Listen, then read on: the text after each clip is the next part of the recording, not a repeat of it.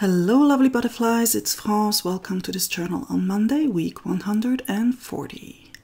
I'm working in my trusted Journal on Monday art journal and I'm starting with applying some gesso, just using a palette knife and scraping it on the paper.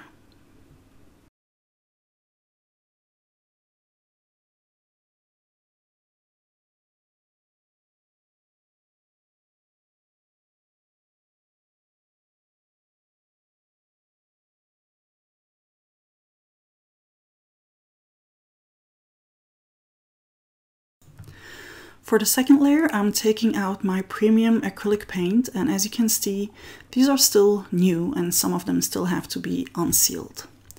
I'm prepping several colors in front of me, lined up on my craft sheet, separating them cold colors and warm colors.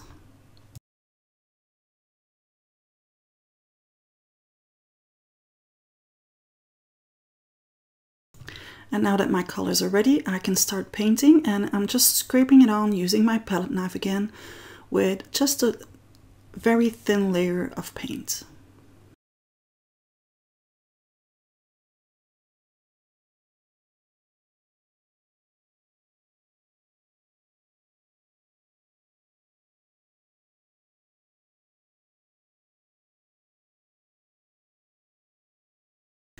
And the fun part of this is just to keep building on the layers, very thin layers, several colors on top of one another.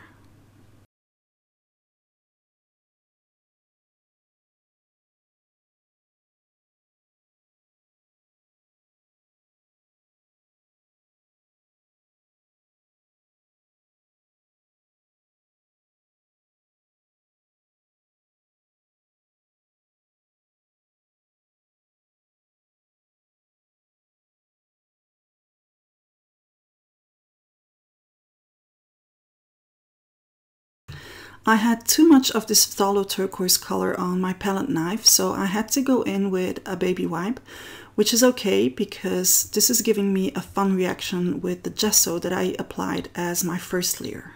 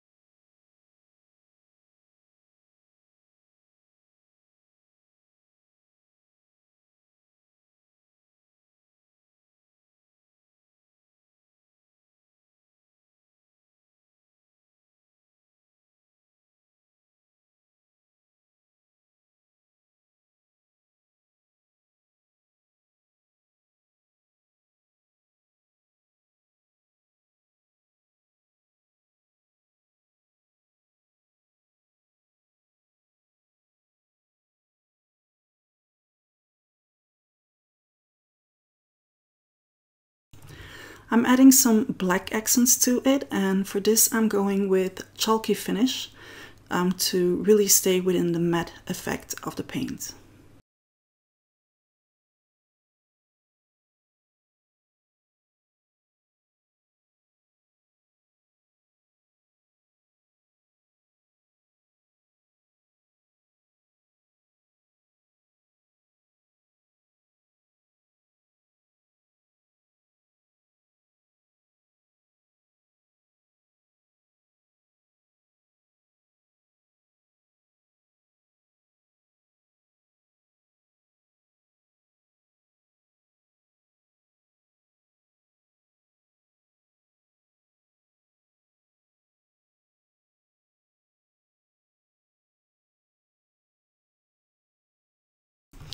Although I really, really like the old wall effect that I have here, I have a hard time to think about how I can keep on working on this. So I decided to push all of that a bit more to the background by applying a layer of white fluid acrylic paint and then to wipe it away using a baby wipe again.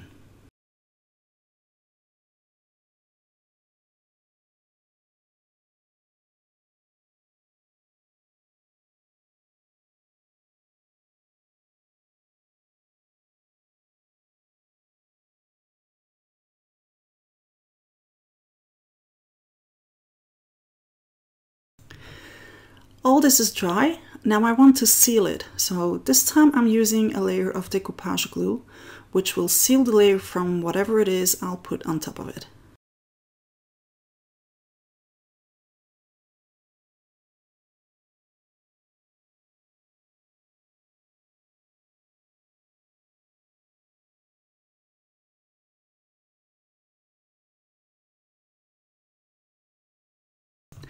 And that layer is a layer of one step crackle, which is a crackle medium that I'm applying in a regular layer, thick enough for it to move around for the next layer of paint, but not too thick so that it can still move around. And I'm leaving that to air dry because that is how you get the best crackles, by leaving your crackle mediums to air dry.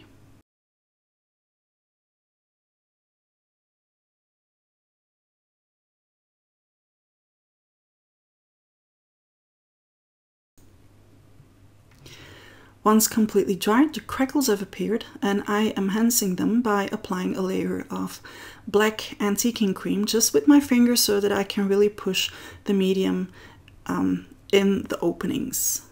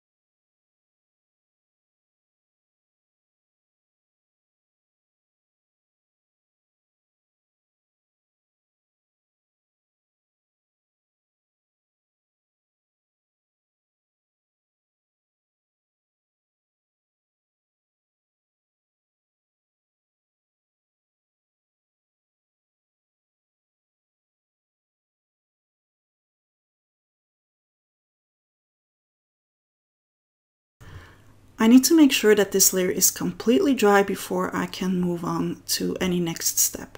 And my next step is to wipe away the, the excess black antiquing cream so that only the cracks remain completely black.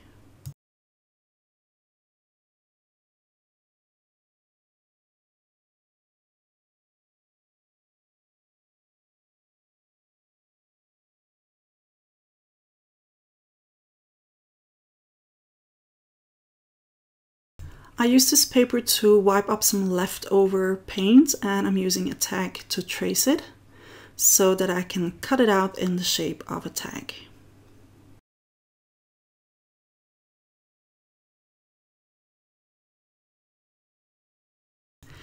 And now I can start assembling the elements that I picked out for my focal point, which are these tags and of course some cambric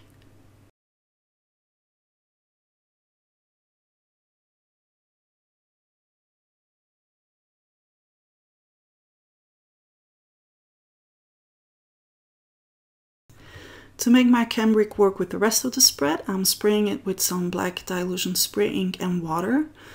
And the water is meant to really blend the color in the fabric.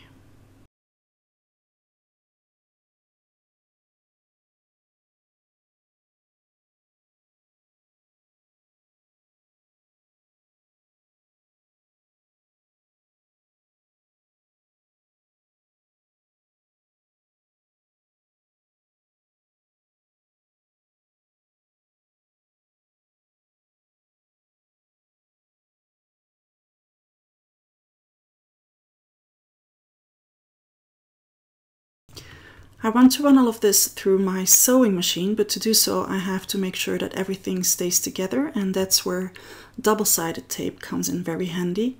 If I would be gluing all of this, my sewing machine might be suffering because I would not have the patience to wait for the glue to dry.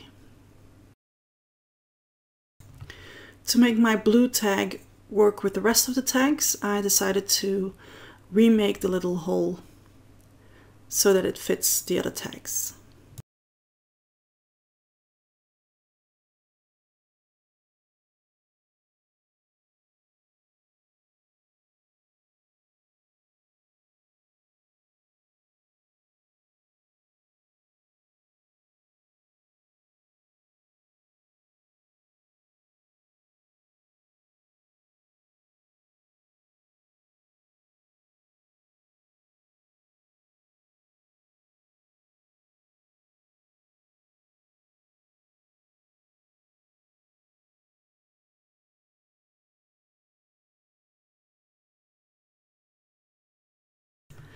And now I can just stick it in place using some heavy gel medium. And with a little help of one of the heavy stuff that I have on my table, which is one of the jars with paint brushes, so that it's really pushed down to stick to the paper. To finish up my focal point, I took out this home rusted metal washer, which I'm gluing down using heavy gel medium as well. And then I also prepped one of my red little hearts to place inside the washer.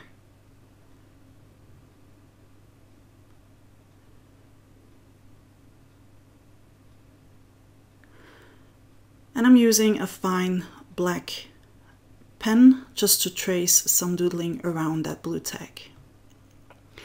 I picked out two words of my perfect word stamp which together are going to say I'm not enough and I'm stamping it using archival ink directly on the blue little tag.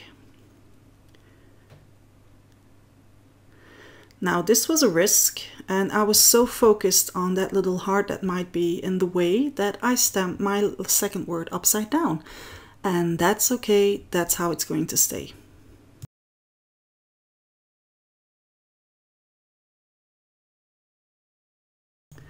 I'm also doodling around the little date stamp, which is so small that I need some help to keep it in place.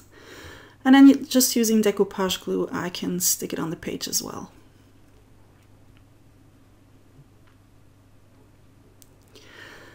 Last minute, I decided to add some white splatters to the page. So I'm covering up my focal element so that I don't add splatters on that as well. And while doing this, I'm also deciding to add some drippage alongside the top and the bottom of the paper. And I'm very sorry that I'm doing this outside um, the camera focus. I didn't realize my camera was um, hanging so low. So I'm not letting the drippage going all the way down. I'm just keeping it at the top and the bottom of the pages. That's about it for today. I hope you liked today's video. If so, don't forget to hit the like button. Don't forget to subscribe to my channel if you haven't already. And if you would like a more extended version of this video, I can only invite you to join me on my Patreon page. The link will be in the description of this video. And on my Patreon page, I, uh, I also have um, live hangouts and live journal with me sessions. So it's a much more personal approach. See you here next time for a next journal on Monday. Ta-da!